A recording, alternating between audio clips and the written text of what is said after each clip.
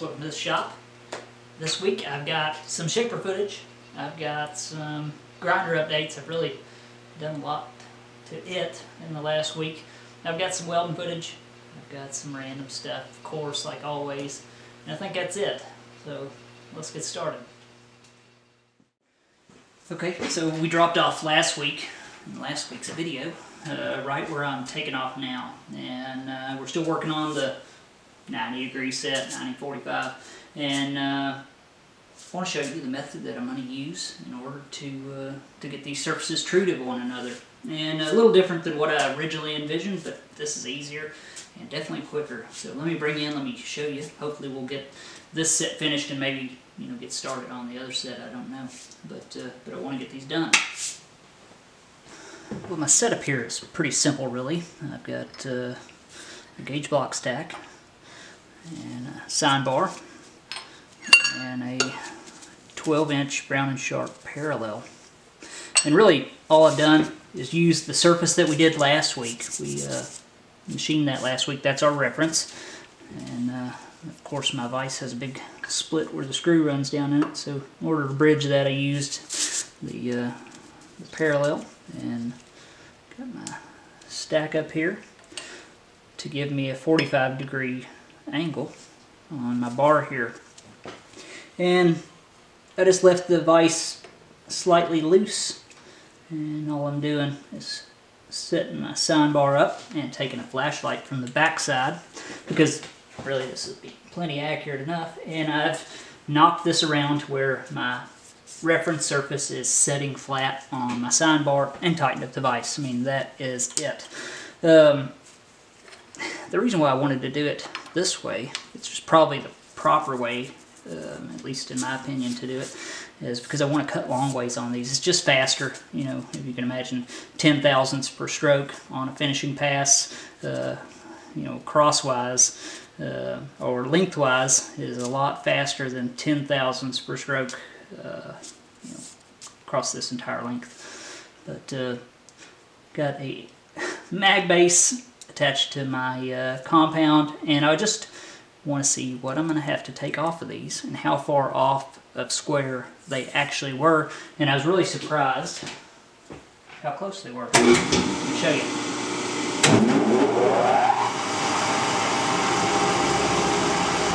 So, you know, within 10, 10 thousandths, that's pretty, pretty good. Um, and I'm happy that it is because I don't want to have to pull off any more of this than I have to. That's pretty good.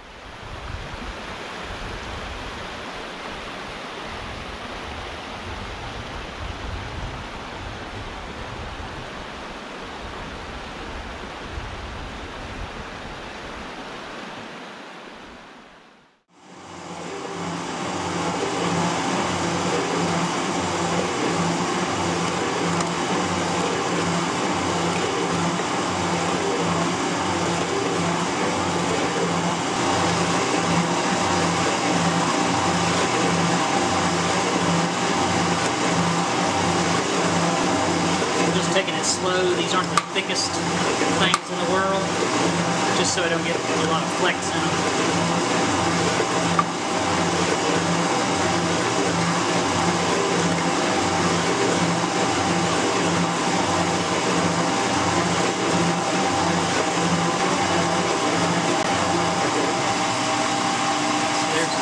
First pass you can see. Touching this far one, but they're not they're not crazy off. Knock my camera over that would suck. So that was our first pass. So zero.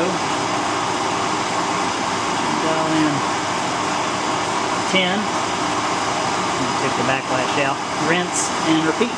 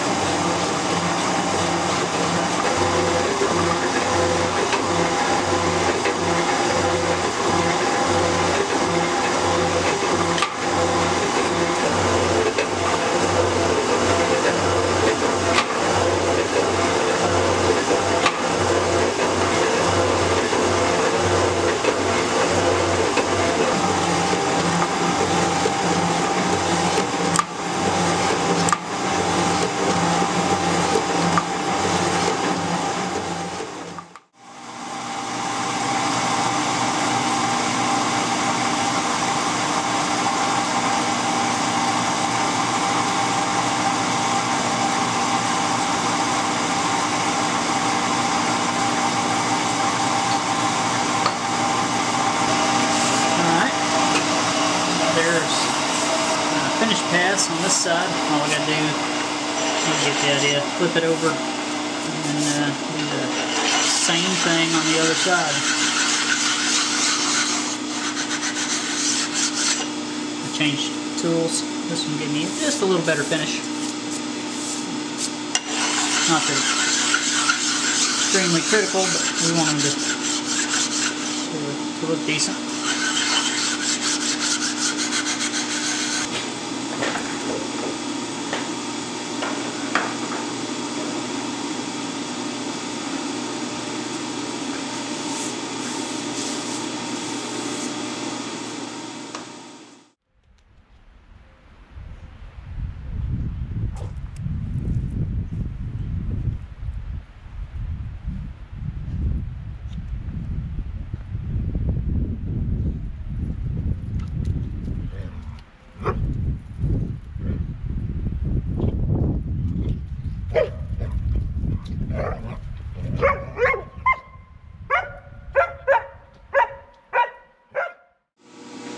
So I got my Starrett. It's a little rough looking, but it's a really nice square, number 20. Uh, machinist square, solid square. And uh, set it on here. I did have to make one adjustment. And I used, uh, you know, a set of feeler gauges. And I was touching a little heavy out here. So my square was somewhat, you know, rocking just a little about four thousandths, which is nothing really. I probably should have left it alone. But uh, I got lucky and I put uh, indicator out here, tapped on it, loosened the vise, tapped on it, and brought it in in one shot, which was luck. And uh, I think that is more than good enough for what these are. So I'm going to call that and I'm going to blast off the, uh, the rest of the surface.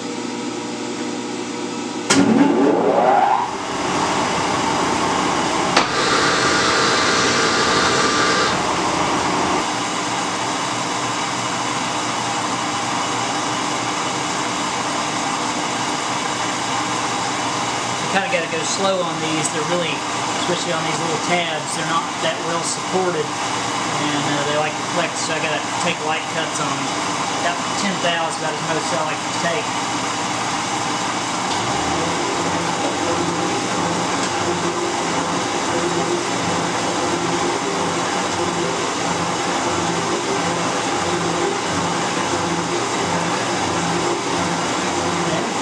Let this thing cut and go do something else.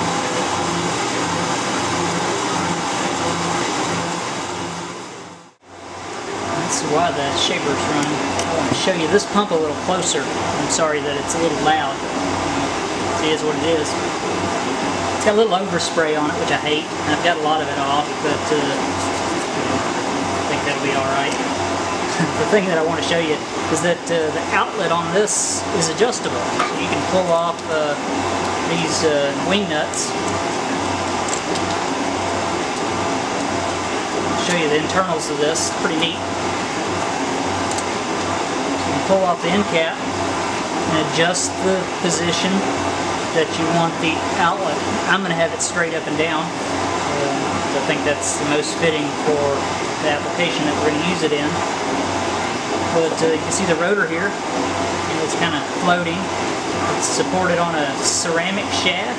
Got a little ceramic washer here. Uh, let me get you in a little, little tighter on this. So, so you can see this end. Kind of kind of out of focus, but uh, it's got a small uh, recess or uh, pocket there that the end of the shaft here rides in. And the motor just uh, turns this rotor here. Actually turns it uh, this way. Pulls in fluid. It's trapped in these grooves and, and this centrifugal force throws it out against the housing and out of that hole, which is the outlet. So basic. There's the little ceramic bits. So pretty nice little pump, really. Um, better quality than what I originally thought. It's got uh, little oil holes. There's one, and it's got uh, one back here in the back. So actually a pretty nice little bit of external start capacitor, 120 volt. Uh, hopefully I can wire this into the circuitry on the uh, on the grinder and uh, have an on and off switch for it. Yeah, I thought that's uh, pretty neat. I think the shaper's done.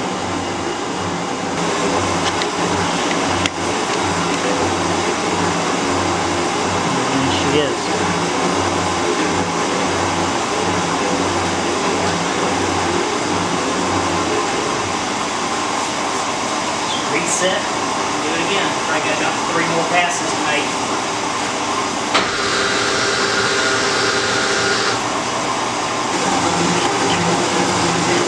Just my final skim pass. About three thousandths off, just a, a little corner out here that needed it. And I wanted to take a really light pass in order to get, you know, some of these uh, tabs and stuff, because they kind of flex out of the way when the cutter runs over it and stick up just a little. So I'm just taking a light cut to uh, take care of that. That's it.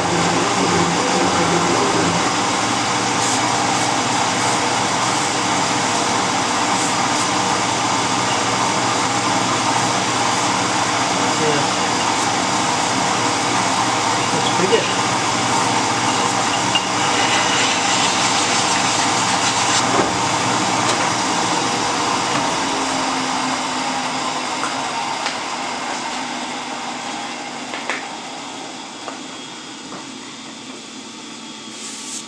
Nice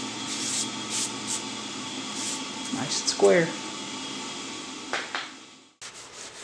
While they're still bolted together, just gonna take a file and just slightly break these sharp corners.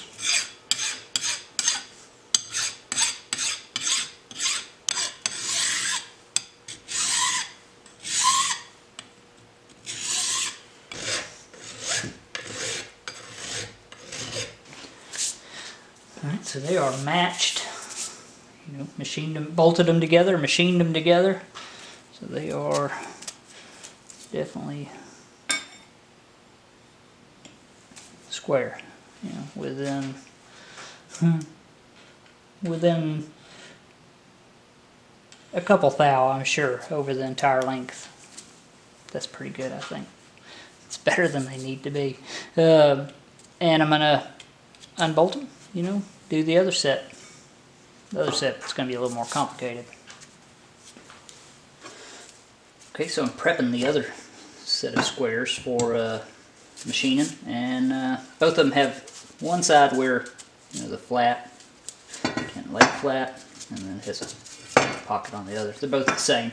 And all I did on uh, on the other set is take those two flat sides and bolt them together when I machined them.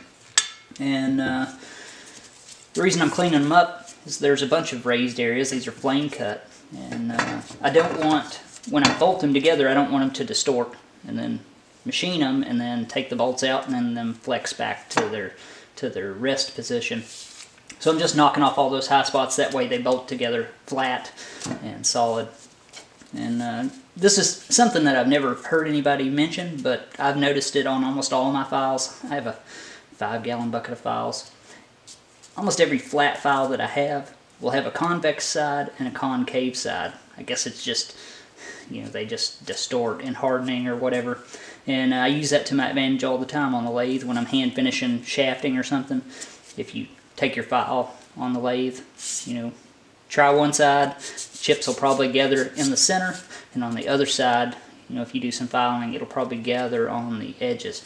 You know, I use it to my advantage when I'm deburring parts and stuff. So, you know, pay attention to that. Uh, I actually have a file that I use mostly on the lathe, and it's marked convex, concave.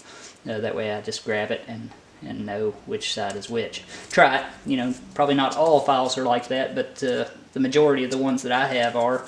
These are quality Nicholson files. This is a hand smooth. So, you know, I use it to my advantage and, uh, you know, give it a shot. See what, uh, see if you find the same the same phenomenon.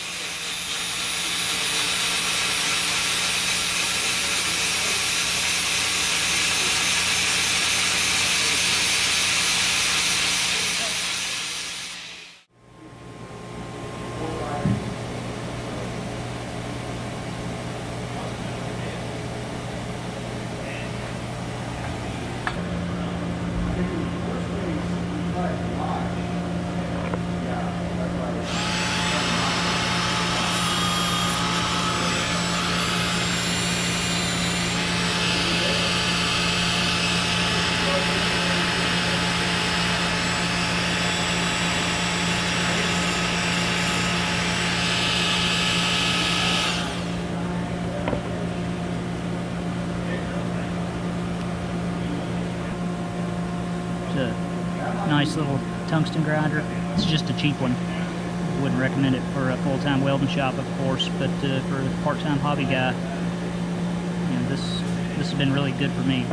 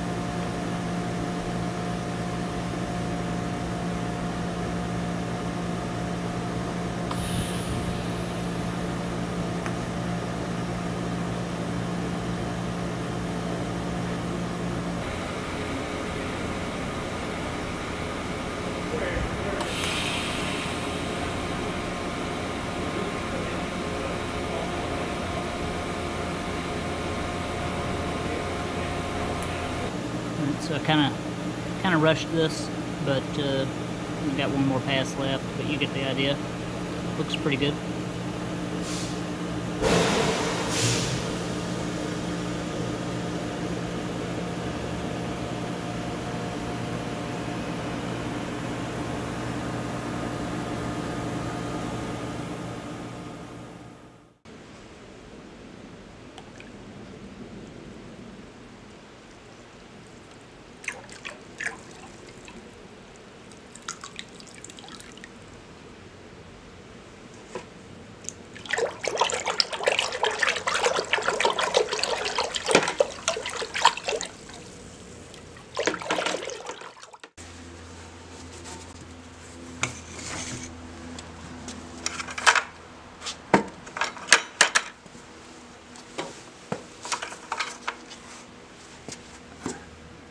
It's not gonna work.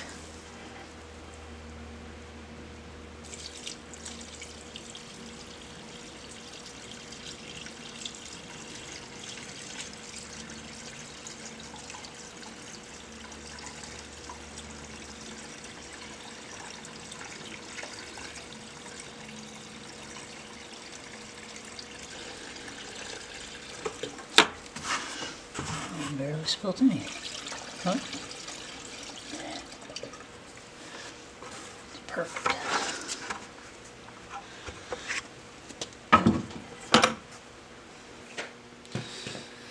Well, this may be a little long-winded, but bear with me. I want to give you an update on, uh, you know, what I've done with this grinder so far and, and where I'm at on it. Now, I've been messing with this thing off and on. I got my coolant system working. I'll walk you around and show you it, and I'm extremely, extremely uh, happy with the way that it's turned out. I've also tried to dust this chuck off just to try to get it better than than what it was and you know test some things out some of the combinations that I have available right now to see what works as far as grinding a chuck in and what doesn't because that's a pretty big chuck for a guy that doesn't have any surface grinding experience to try to grind you know I do have grinding experience but I'm talking you know cutter grinder experience where you're grinding you know relief on a cutter, which is no material at all, hardly. So this is quite a bit different. And I'm, I'm starting to get it, uh, but uh, it's slow. And if I could describe surface grinding for a beginner in, in one word, it would be frustrating. Uh, and, uh, you know, it's easy. It's a lot easier to find combinations that don't work than it is to find ones that do. Let's just say that. So I've tried to grind it in. This is a uh, 46 closed structure um, H wheel and uh, had some mixed results with it. It just all depends on the way that I dress the wheel, the speed of my traverse, and in feed. But we'll grind it in together uh, when I go to do it seriously. I've got uh, some new balls here, thanks to my buddy Jim Lichty. He found them, and I picked up a set. These are grade 10 um, lapped balls, and they're about as close to 5 eighths as I think you can really get. And relatively cheap, uh, cheaper than you would think for precision uh, balls like that. So I'm going to be replacing those, and all the work that I've done on this chuck has really just been experimental on my part. So let me take you a walk around of the coolant system and stuff, and I'll explain some of the other things I've got, uh, I got going on with this. Alright, so I got the coolant system running. I mean, it's almost, it's not silent, but it's about as close to silent as uh, as I've ever heard a coolant system, and uh, man, that thing uh, delivers quite a bit of coolant. Right now, I've just got a smashed piece of copper here, uh, just temporarily, but I want to change this design to something more like uh, Robin Renzetti did, something that gets you right up under the wheel, right up at the edge of the wheel where all the grinding takes place, because that's really where you where you need your coolant. But uh, really happy with the way that that has worked out so far. I've been trying to follow uh, Steve Barton from Solid Rock Machine Shop, his procedure on grinding in a chuck. You know, that guy is uh, pretty knowledgeable on grinding, and uh, you know, been trying to follow it as close to it as I can with the with the stuff that I have. Now here is a wheel that I ordered. This is a Radiac 46J. Uh, now this is a closed structure wheel. It doesn't have a lot of open area between the grain particles. This is a 46 also closed structure. And I've got a 46 open structure H or I uh, coming in. And that's what I'm going to grind this chuck in, you know, permanently with, or at least that's what I'm going to try. Um, the closed structure wheels just clog up, you know, quickly and uh, end up you know causing you issue. By the time you get across the chuck, your wheel's loaded up, and you know you get a wedged shaped chuck. This is pretty good. It's actually really close, but it's not uh, not where I want it to be. I still need to change the balls and stuff, and uh, you know get them get them installed. Give me the best chance for accuracy on this machine. Now, well, I splashed them, but here's the balls. These are from Bal-tec. They're about as close to to 5 eighths as uh, as you really probably need to be. And uh, these are the same ones that uh, Robin Renzetti used on his recent grinder rebuild, so I know that they're, you know, good enough for uh, for me. So those are the balls that I'm going to try. Let me show you the actual pump installed in the system itself.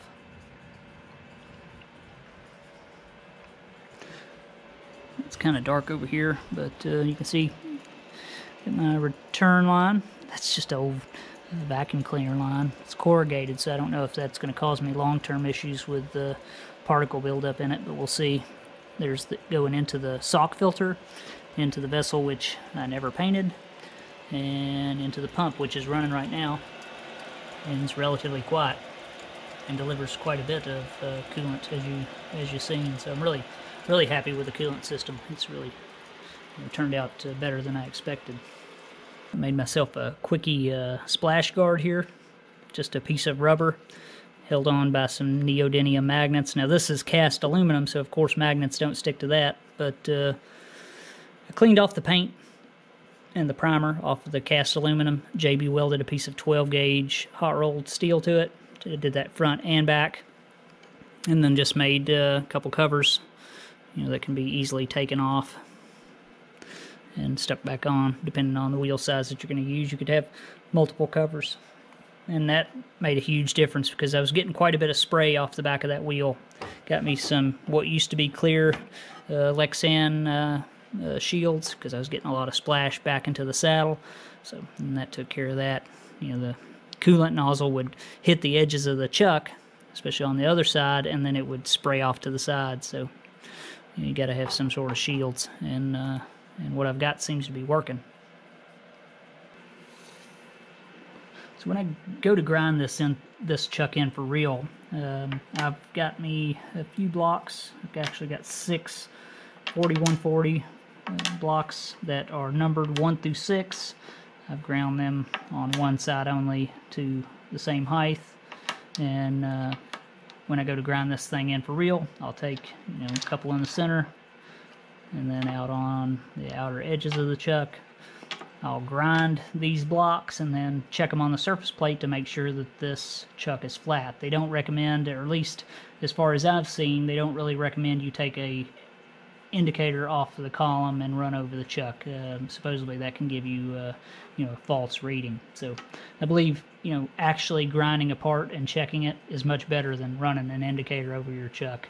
So that's what I plan to do when I when I go to uh, grind this thing in for real. But you know, it's got a decent finish. Got a little wheel hop in there. That could either be from the wheel or the spindle. But uh, I'm actually getting you know, pretty good finish with this machine. I mean, it's not perfect, but that's if that's as good as I ever get, I'm happy with that.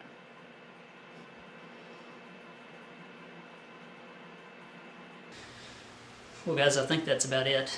Um, been a crazy busy week, like I always say. It's you know ever since I've started the channel, I've been overwhelmed with, uh, you know, between work, family, and, and uh, you know, editing. That's, that's all I do. oh, so thanks for watching, guys. I really appreciate it. Maybe next week we'll try to grind in this chuck or, you know, change the balls in the table or both.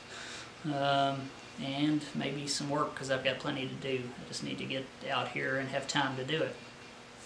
Big thanks to the guys who uh, clicked on the link in my video descriptions and donated to the fund to get me and Elizabeth out to the bash this year. Uh, we're getting really close. Um, you know, we're basically three quarters of the way there, and uh, Elizabeth's extremely excited about it. I am too, and I'll hope that I'll get to meet some of you guys out there. So, if you need anything, contact me through my email. You click on the little guy to subscribe. Big thanks to my viewers, patrons, and subscribers. You, you guys are awesome. And I think that's it. If you need anything or have any suggestions, leave them in the comments. I try to get back with everybody when I can, but uh, you know how that goes. So, thanks for watching, guys, and I'll see you next time.